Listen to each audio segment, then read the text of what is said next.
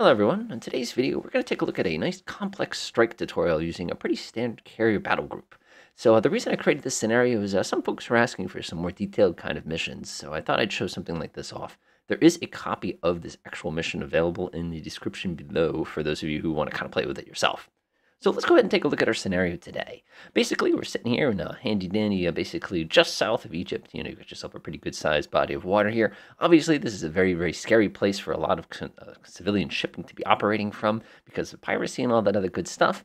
Uh, of course, uh, things, communication between uh, Country Blue and Country Red have uh, broken down significantly, and Country Blue has decided to send a warning strike to a known fortification set inside of the Red Country's country. So basically what we're going to do today is we're going to go ahead and walk you through the process of kind of getting a strike together with the goal basically trying to prevent any sort of casualties on our side. So you're going to see a little bit of SEAD work, you're going to see a little bit of strike work, you're going to see a little bit of reconnaissance work, all to kind of come through. Obviously, in the real world, you're limited by what you have at your disposal. You know, if we had a bunch of uh, Russian aircraft, for example, let's say just a platoon, what's a platoon? Say we have a couple flights of MiG 21s, oh, this is going to look a little different. But today we have a fairly modern carrier battle group at our disposal. So uh, first things first, let's go ahead and take a look at our things we have at our disposal. We have ourselves a pretty standard group. We have F-18Es, which are the big F-18s. You can see we've got some GBU-16s. Those are pretty handy. We've also got ourselves some AMRAAMs and this incredibly, incredibly useful thing that we have right here. We're going to need that a little later on. Coming over to the F-14Ds, it looks like we have the Bombcat version of the F-14Ds, some more GBUs. Obviously, we could do this with Mark 84s. Coming over to the F-18Cs, we have a good mix of things here. We have some uh, CBU-59s, these are APAMs. We also have some HARMs, which we're absolutely going to need. Looking at this setup right here, I can tell you that this is a DEAD setup as opposed to a SEAD setup because of the fact you have the missile to kill the radar, then you have the CBUs to blow up the site. This is going to be tremendously useful. Coming down here, we have some JDAMs. We really don't have a lot of these today, which is actually kind of a bummer because using JDAMs would make this whole operation a lot simpler. So let's go ahead and take a look down here. We've got some EA6Bs, uh, more HARMs. You're going to absolutely need these, but more importantly, an EA6B has this thing, which is an incredibly effective jamming pod system. It's absolutely spectacular, and it's really going to save a lot of lives today. Of course, if you're on the other side, I'm not really saving lives, am I? Coming over, we have two Hawkeyes, which of course we always need to make sure we have them on deck, ready to go. And of course, we have a group of Harriers. Now, you're looking at this Harriers, this is actually on an LHD nearby. And you're probably wondering why they're packing Maverick lasers. Uh, you'll actually see why in a second. Let's go ahead and take a look at how things are looking over on this place. So basically, our objective is going to be to try to attack this kind of hub of buildings down here. Looking really quickly, it looks like we've got ourselves a desert fort. We've got a little comms, by the way. That's the asterisk key on your keyboard in case you're wondering. Uh, we have a communication hub, very, very valuable target. We have a truck depot, and we have a coastal fort, which is probably nothing too, too concerning. Again, it looks like we have an ammo bunker. It's going to take quite a bit of damage. And we have this desert fort. Take a look at this desert fort real quick. I'm just kind of go scroll down. Whoa, boy, that's uh, that's quite a few hit points there. So uh, this is going to require some very concerted effort in order to destroy it. I like the picture they got. It's kind of cute. All right, let's go ahead and put that away. So uh, we don't need to look at those uh, details anymore except for the one we've clicked on. All right, looks good. And of course, uh, what else do we know? We know that there's some observation posts set up around. We notice there's some kind of uh, electron early warning site. Uh, this is a pretty well placed early warning site. They have some buildings, which basically probably some do with a pair of night vision goggles ready to go. Uh, weather for today, of course, taking a look, we have clouds between 10 and 16,000 feet, which sucks. That means we're not going to be able to go plinking from high altitude. We're actually going to have to get dirty, which is a little unfortunate, but we'll make we'll make do. Taking a look at the terrain, uh, this whole place seems to be in a very, very large valley. There's significant rocky outcroppings kind of surrounding it. You've got kind of this in reverse C kind of shape here. Thinking about things real quickly, the observation posts seem to be kind of around these logical approaches, but I notice there's a gap in the observation posts along this really, really nice valley here. Now, anybody who's done any experienced stuff with uh, reading histories know whenever you have valleys that seem to be awfully conveniently placed, 99% of the time there's something awful inside the valley that's going to ruin your day. So we're going to have to make sure that we recce this valley in the event that we actually want to take it. Now, this is, again, clever mission design and clever real-world tactics here. Now, if we were to come ripping along this valley, as soon as we pop out of the valley, it's a relatively short drive. You can see it's only about 10 nautical miles to get to the target zone. Now, the cool thing there is 10 nautical miles is more than enough. Again, if we're doing afterburner, it's going to be 45 seconds. That's not a long time. However, we know there's an SA2 site here, which is ready to rock. And I guarantee you there's going to be something else that's better at short range somewhere in here, literally waiting to cut us in two. So we're going to need to make sure we do reconnaissance. Now, if we come around this way, around the back, and we try to zip around this little mountain peak here, this mountain peak is going to be the most logical place to put any sort of warning sight because, again, it can see this entire valley. It can actually see down into this valley. So we want to be very, very cautious here. Now, on the flip side, look what happens if we come down the south. We have this huge flat zone where the SAM batteries will be able to us a new one, and they'll have plenty, plenty, plenty of warning. So this is messy. And the first thing we're going to have to do here is we're going to have to do some reconnaissance. So to do some reconnaissance, the first thing I'm going to do is I'm going to go back to my carrier group. I'm going to go ahead and get myself this F-18 here. And I'm going to go ahead and launch them individually. Now this is a very, very, very, very sophisticated reconnaissance platform. Uh, while they're getting going, of course, I'm going to go get my support units. I'm going to get my Hawkeyes airborne. Get everything nice and ready here. We're going to go ahead and make sure his radar's turned on. Looks good to me. And we'll go see what we can see. All right, F-18's on his way. Let's go ahead and scoop him. Actually, it's the E2. My apologies. Let's grab the F-18. And we're going to go ahead and send him over in this direction. Now, I noticed the moment we got airborne, we instantaneously identified some kind of mobile something. The other thing I noticed is we've been able to pinpoint where this EW site is a little bit more accurately. We're still not sure what this is yet, though. Now, hopefully our EA8 here will be able to get a little bit closer. So go ahead and speed up some time. Uh, let's see here. We're still getting all sorts of nastiness coming out of that bar lock there. Looking over on this side, we're still not sure what that is.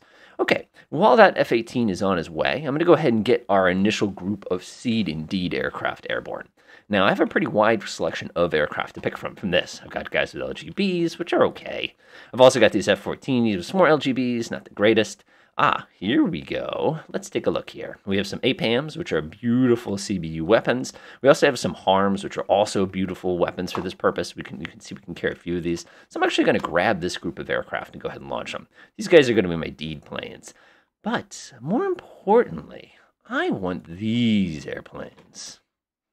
Now, these are Harriers, which means they can go very, very, very, very slow. And they also have standoff weapons. Now, you're probably sitting there going, okay, where are you going with this? Well, the reality is, one of the problems we're going to have is we're going to get to the target, release any one of our weapons, and we're going to fly over it and basically get ripped a new one by any sort of AAA. With the Harriers, we actually have the ability to basically pretend we're helicopters, launch all of our weapons at extreme ranges, and then just turn around and go home. That's an amazing, amazing advantage that you don't have with most aircraft. And again, we're going to take advantage of that. And again, we're working on some assumptions here. All right, let's go ahead and grab our F-18 here. This is, again, remember, he's using the Sharp Pod. The Sharp Pod is neat. It's a combination camera, combination synthetic aperture radar. Basically, the moment I turn this radar on, it's going to be like night vision. It's like click, and all of a sudden you're going to start seeing contacts appear. Oh, done. that was amazing. Talk about reconnaissance. All right, let's see what we got here. So we have a bunch of unknown targets, all mobile, which means there's some kind of vehicle. Now it could be a truck, it could be some dude's Lada, it could be you know a little UAV, you know a Toyota Hilux or something like that. It could also be AAA battery, it could be an SA6. Oh, we have absolutely no idea what it could be. So we're unfortunately going to have to get a little bit closer to be able to start to identify these targets. Now, in the old days, if we wanted to go ahead and identify these targets, we had to do some really sketchy stuff. Let me go ahead and grab an aircraft and kind of demonstrate what I mean here. Let's get a MiG-21R here. Let's go ahead and uh, we'll grab one from Cuba from today. I'll make sure he's got EO. Let me show you basically what you would have to have done in the old days. It's uh, pretty terrifying. Go ahead and drop this guy basically at a minimum altitude and get his speed going. What you would have to do is you'd have to take a reconnaissance platform equipped with a camera, and you'd basically have to skirt around as close as you can, desperately trying to get a photograph while not getting yourself shot down. So basically, what you would do is you get something like I said, like a MiG 21R, like you get an F 16 with like a flare or something like that. And basically, you go popping over here, ripping along as fast as you possibly can at low altitude, trying to do anything you can to try to desperately get that picture. And basically, what you'd have to do is basically turn out of the way at the last possible second so that you'd have the ability to basically see this thing. You can see plenty of good frame cameras here. And it did the trick. Get out of here. Run, run, run, run, run, run, run, run, run, run, run, run, run. Turn around. Run, run, run, run, run, run low altitude, go, go, go, go, go, go, go, go, go. And this is why nobody wanted to do reconnaissance back in the day. But the good news is we were able to identify all the different targets and the different kinds. We also got an SA2 to take a pot shot at us, which means we can identify what that is. You can see he's beaming it rather than running from it. This is a huge difference between what you should be doing versus what he chose to do. And he's dead. Ah, that was stupid. So the problem here was, and again, this is the danger of doing the old school method of reconnaissance, is you basically would have to zigzag through all this as fast and aggressively as you can in hope that something doesn't catch you. The safer thing would have been to go right over the valley, ducked, and the radar would have lost lock. But again, you can see just how sketchy that is and why this handy dandy little F 18 with its little fancy pod here was a superior option for this particular mission. Again, you got to work with what you got here. Okay, I'm going to use this aircraft now basically as an early warning platform for the purposes of keeping an eye on things. Meanwhile, if you remember a minute ago, I went and got ourselves a couple little aircraft here. I'm going to go ahead and grab myself my Harriers. I'm going to kind of get them set up over there. And I'm going to go ahead and grab my F 18s. I'm going to go ahead and set them kind of in the general direction here. Now, your instant instinct is going to go ahead and use those aircraft to target their handy dandy EW weapon, uh, radars, I should say, not weapon. It's not a weapon. The problem with this is, is we waste a perfectly good missile doing something like that. I think he's actually gotten close enough because if it is an SA2, yeah, he's going to be right on the edge of the range. Might as well annoy him a little bit. So basically, what's going to happen is if we go and blow up the early warning site with a harm missile, we're wasting ammunition. It's much, much safer to use one of those nice CBUs. Or, remember a minute ago when I mentioned I had Harriers with laser Mavericks? That's also a great system. But I'm not going to be using either one of these weapons for that purposes. Because remember, it's just a radar. All you have to do is hit it with a gun. But before we do that, we're going to have to deal with the longest range SAM system, which is our Angry SA2 right here. And uh, it's doing a pretty good job of just irritating us right here. So what I'm going to do is I'm going to take my F-18s. I'm actually going to drop them down to low altitude. Remember, there's a very large mountain range right here. And what I'm going to do with that is I'm going to have them kind of come down like this, drop down to the altitude, trick the SA-2 into firing, fire a couple harms in its general direction, and then immediately get out of there as fast as you can. Now, there's a lot of really, really fun methods you can use for this. I've seen uh, some people actually do it where they'll have two sets of uh, airplanes basically to trick, you just basically ferret out the SAM, while the other two immediately fire the harms. That's an amazing strategy, but there's a little bit of micromanagement involved with that. So what I'm going to do is I'm going to intentionally fly over here where their EW site is to get my aircraft identified. Now, you're probably going, why are you trying to get your aircraft identified? Well, they're not going to fire a SAM at me until they know exactly what kind of aircraft that I am. If we don't do anything, they're not going to do anything with it. So we got to kind of keep that in the back of our heads as well. Our harms are ready to go. You can actually pre-select this target for harms if you wanted to, but again, since it's not actually radiating, we can't do anything with it just yet. So we're just going to go right over to the SAM site. We're going to drop down to minimum altitude real quick. Keep in mind, my Harriers are getting in position. I'm going to need them in a minute. I'm actually going to tell them to slow down and they're going to come down really, really, really, really, really low. Now, this is going to be extremely rude to this radar site, but it's one of the cheapest and easiest ways to solve these problems. I'm going to let everybody take a pass at it with their guns, and without even wasting the expensive missile, which we're going to need in a minute against that pesky SA-2, because remember, oh, ah, that's what I was hoping he'd do.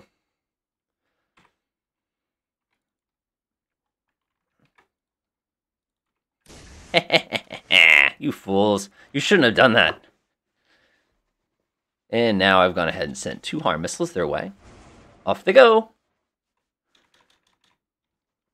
That was silly. So now we're going to go ahead and finish our little attack strike here against our little handy dandy EW site. Remember, these guys have already got it queued up. Whoop, we went a little high with those missiles, but that happens sometimes. All right, everybody's going to go ahead and take their shot at the uh, radar site using their guns in just a moment. I'm going to go ahead and order them to attack manually. Eh, kind of not a fan of them using CBUs, but ooh, that'll do the trick and now their radar site is out of commission. And we know that this SA2 is uh, probably a little annoyed at us, which is desirable. Now, since we're in the range of that SA2, I'm actually going to get these guys ready. I'm going to need them in a minute. Now that I know that this SA2 is kind of mad at us, I'm going to pop up to medium altitude real quick and slow down. What we need to do is trick that SA2 into taking a pot shot at us. Because if we can get it to do so, we can go ahead and just rip it with a harm. There it goes. You can see it's already fired, but for some reason my harms do not want to lock onto that battery for the life of us, which is actually a little irritating, but it's all right. Go ahead and uh, go down, back down again. We can always run out on missiles too. I don't know why you guys are insisting on climbing here. The SA-2 is arcing, but it's going to get lost in the mountain range. Yep, bye-bye, Mr. Missile. Nice try, though. All right, come back around again. Pop back up to medium altitude. I think that's two. I'm just going to confirm real quickly how many missiles. That might should be three. How many SA2s? Uh, they fired three? They've only got three left in the battery. Oh, here comes the next one. Everybody get down. Everybody get down. Here comes the next one. Ah, that was two. Oh, you're wasting those SAMs. Those things are expensive, you know. Oh, we got something new too. Looks like a straight flush decided to start shooting at us. So now we got an SA6 that doesn't like us very much, which is awesome because now I can deal with that SA6 too and stay in a safe area here. Ah, I love those all of the show shots with the harms. You guys have to get low. Get low. Here comes the SA6. Has the SA6 got line of sight? No, it does not. So not only is that SA2 about to get hammered because he's going to run out of ammo, but I just got a freebie on that SA6 too. So this is actually really good. When it comes to SEAD, you almost always have to do it by hand. Oh, we got another one out of the SA2, but that was bad timing. Oh, and that's the end of that SA6. And that SA2, that is his last two weapons. So now it's time to move on to our next phase. I'm still getting, oh, nope, it's disabled. Uh, why are you folks turning towards the danger zone? You want to turn away. Okay, so this SA2 battery is out of missiles, so we don't even have to engage it if we don't want to. This SA6 just took two harms to the face, but we still know that we have a couple different targets left here. We have these two AAA batteries, and we have whatever this is. Ah, it's an SA9. Okay. So our handy dandy guys up here, they're in great shape right now. I still have four harms left, and I haven't even done anything with them. So what I'm actually going to do is I'm going to have them come around, and I'm going to have them disable the last couple targets that I have left here. Anybody have a harm left? Oh, you do. I'll give one for you. And I'll go ahead and lock onto this guy. I'll give one for you. It's not going to let me do it, is it? And we'll go grab this guy over here, and we'll give him one too. And where's that jammer that was irritating us a second ago? Eh, you can have one too, because I don't like you. Okay, so what we're going to do here is we're going to go ahead and fire a bunch of these SAM or these harms. And our goal here is to try to trick those gun batteries into turning on their fire control radars so we can get a freebie shot with the harm on them. If we don't do that, we're going to have to do this the hard way, which I'm not really looking forward to. And we're about to get the jammer. Ah, they didn't take a shot. What a bummer. All right, so I'm to put these guys right up here at medium altitude, out of the range. Remember how we disabled everybody? These guys can now pop up to medium range and actually just sit there because none of the missile batteries that were a danger to them are a danger to them anymore. So now it's just a matter of leaving them up there. Now it's time to go get our Harriers. So what are we going to use these Harriers for? Well, what we're going to do is we're going to go ahead and clean house. Now we know that the weather here is uh, clouds to 10,000 feet. So the first thing I'm going to do is I'm going to set their altitude to be 9,500 feet. That means we're going to be just below the cloud layer. Next, what I'm going to do is I'm just going to basically set myself up on a little course to destroy everybody. Now that I've done that, I'm going to switch to manual mode. Uh, let, us be polite here. You get two. Uh, this fellow over here, I know you've been very irritating today. I'm going to only give you two. Uh, we're going to take our Shilkas. We're going to go ahead and uh, hammer the Zeus, I should say. I'll give you two. And again, I don't want you to feel left out, bad guys. I'm going to go over here. I'm going to make sure that you have a pair of them as well. And last but not least, I'm going to grab the last one. And I'm going to give him a couple too. And now, watch this. My Harriers are just going to come ripping across the countryside here. Nice leisurely pace. Remember, the SA2 is out of missiles. They're just going to be sitting here. They're going to come spinning around. Oh, oh, there comes my first couple lasers. And they're coming down, they're coming down. Remember, because I'm traveling so slow, the missiles get there before they get in range. And goodbye, SA2. Thank you for playing. I'm actually not happy with that. I think that he needs a few more because he's, he's just feeling left out. We'll give him a couple more. Oh, notice my... Ah, there's the gun dish. Do you see the gun dish? Told you. Told you. Now, these are the harms that I was waiting with. Look at this. Look at this. Oh, ow. And now watch these Harriers just rain laser death down on everybody. So you can see very clearly that uh, this is not a very fair engagement. Whoop. Looks like uh, they got a couple shots off, but that's okay. You guys have to turn back around, otherwise my lasers are not going to work. This happens a lot. Turn back around, turn back around. Oh, at least the Zeus is uh, wasting a bunch of ammo there. Ah, they got them all. Shucks. Okay, so we're going to go ahead and send these guys home because uh, they're not going to be of much use to us anymore. Uh, we, of course, have got our F-18 still left. Uh, we had these two guys who did a really, really nice job of annoying them. We still have two sets of CBUs left, and I feel bad if we don't use them. The problem is, I'm not going to risk my F-18s at 2,000 feet in order to uh, try to do something with these two Zeuses here. And oh, by the way, we uh, still have an SA-9 here, so unfortunately we were not as successful as I was hoping. But again, a Zeus is a very, very tricky platform to deal with. Okay, Let's grab these guys. Uh, we're going to make a pass really, really quickly on their SA2 one more time, just because I'm feeling rude today. Let's go ahead and select my APAMs. Looks pretty good. Of course, we could use our cannon, but if we use our cannon, you know exactly how that's going to end up going. We're going to stay up at altitude until we get a little bit closer. Again, remember that Zeus can't do anything to us this high. We're going to drop down to our attack altitude. And we're just going to come right up on top of the SA2 and uh, remind it that we still don't like it. Ah, we're going to be too high for that attack. Let me back us up just a little bit. All right, coming around, coming around.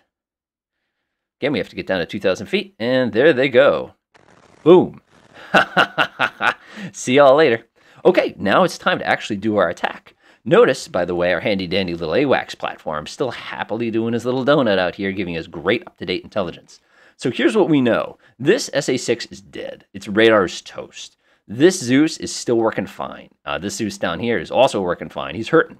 And then, of course, we have the SA 9 in the middle, who is perfectly capable of ruining everybody's day. So it's like, so what do we do now? Hmm. Well, the first things first is we know the Zeus has a range of about a mile, which you can see clearly here. So if we were to do something like this, we're going to get hammered. If we did something like this, we could probably be fairly successful at minimizing the time that we'd be in the basically the death zone here as far as with these two guys. They probably don't even have working radars anymore, but it doesn't stop them from shooting at us, even though it's 12 o'clock at night. So what we really need to do is do something about these. This SA-9 could be very, very dangerous. So uh, we'll have to take a look at what we have left to go ahead and finish up this battle. Okay, coming back over here, we have plenty of GBUs, which is what we're going to need. We can use those from altitude, except for the fact there's weather that's blocking us from using them from altitude. We have the Bombcats, same problem. We have these guys who, ah, JDAMs. Oh, it is our lucky day. So we can use these F-18s basically as a way to deal with those last couple targets. The problem with these JDAMs is they're very, very easy targets for those Zeuses. So basically you'd have to attack in two different wings. The first one would basically have to concentrate on distracting the radar gun, and then meanwhile these would have to come out of nowhere and basically CBU it, so he wouldn't have a chance to shoot back at him. Other option, of course, is uh, we can see we have some harms left, but there's no radar left on this map. So these aircraft, unfortunately, are not really going to be too helpful for us. Going back to our Harriers, we're out of those. Uh, F-18s, we got plenty of those. Okay, so it looks to me like we're going to have to send in two different waves of attack. So let's go ahead and set that up now. So I'm going to grab this one, this one, this one, and I'm going to go ahead and create a special attack. Get the ACK. Call it a land strike. Again, you work with what you got. I'm going to go to F-18s. These guys look like they're going to be very, very capable at this. Go ahead and put them all in there like that. I'm actually, this is going to seem a little weird. I'm going to mark these as escorts. I know that sounds a little strange, but what's going to happen is these guys are going to drop the bombs, and these guys are going to protect them as they drop the bombs. Seems a little weird. I'm going to wait a couple seconds for that mission to register, and then we're going to go ahead and launch our main strike. Now, our main strike, I pretty much got everything set up earlier, so I don't have to worry about this too, too much. Go ahead and pause. I'm going to go ahead and grab all my harms, my EA6s here. I'm going to mark them as escorts. They're not really going to do much for us, except I am going to have them turn on their jammers, just to make things a little interesting for us. All right, go to my F-14s. You guys are going to be my primary strikers. I'll let you do that. Grab my F-18Es. You're going to be the rest of my strikers, and you're going to be my air-air escorts. Um, press OK. I always make that mistake, but that's OK. Go back to F-18Es. We're going to mark all you folks as escorts as well. You never know. You never know.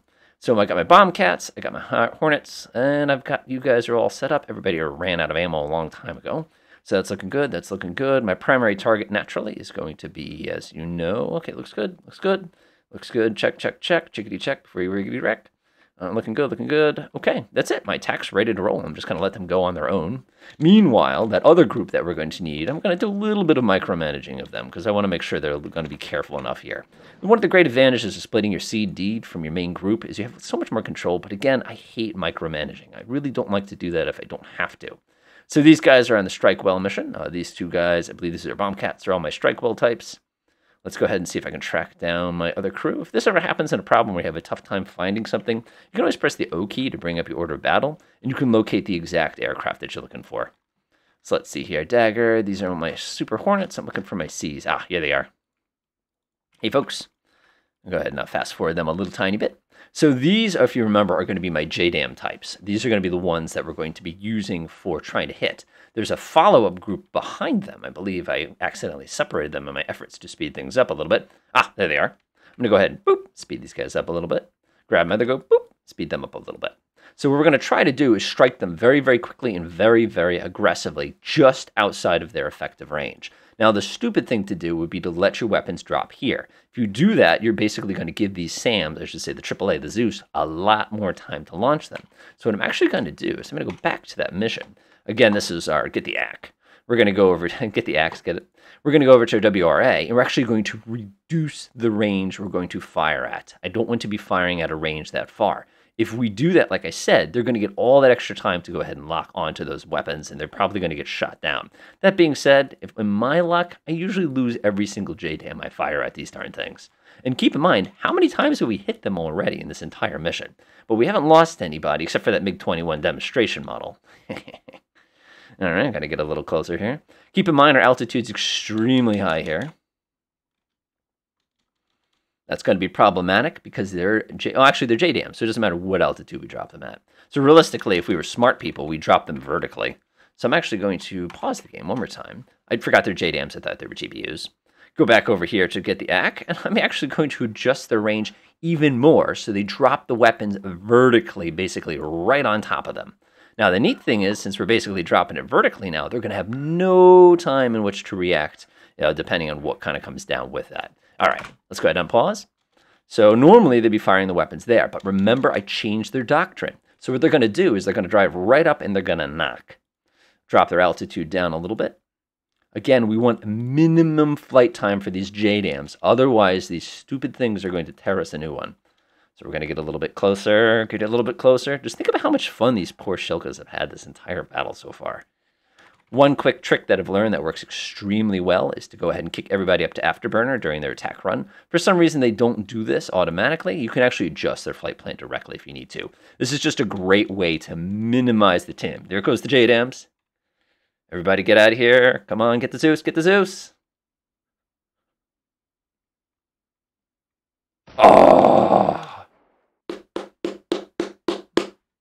Yes. And by the way, here comes the rest of our strikers right on time. oh, that was not fair. Okay, folks, uh, let's let's let's do it by the numbers. Let's uh, clean house here. Okay, okay, you get a bomb, and you get a bomb, and you get a bomb, and you get a bomb. Oh, you get a bomb too. All right, here comes our next round. Oh, no. I feel like we should drop a couple things in the SA6 just to make them not feel so left out. And you get a bomb, and you get a bomb, and you get a bomb. And keep in mind, you could be doing this with conventional weapons, but I'm just really enjoying the fireworks. And you could bomb. Done. All right, let's take a look at our end results here. So this battle started, remember, at about 12.30. It's now an hour and 15 minutes later, and we lost our example aircraft. And we got everything. So hopefully this was a valuable tutorial as far as a video goes so that you can kind of see what it looks like trying to get these things all planned out. I tried to go over as many of the different tactical considerations as I could, kind of played it. Some things didn't work, but again, um, nothing ever survives first contact with the enemy, as we all know. Uh, going back, I think I should have been a little more aggressive with my Harriers, but they did such a beautiful job of absolutely ruining everybody's day. And again, I had plenty of harms left that I didn't even end up needing to use. Now, when I played with this kind of a scenario before, I've done it with all Air Force units, I've done it with all Russian units, you know, stuff like all British units, just to kind of experiment. And basically, the strategies end up being about the same. The goal there is you kind of get rid of the long range stuff, then you get the short range stuff, make sure you do reconnaissance, and then once the place is cleaned up, feel free to go nuts. Other than that, hopefully this has been fun. Enjoy.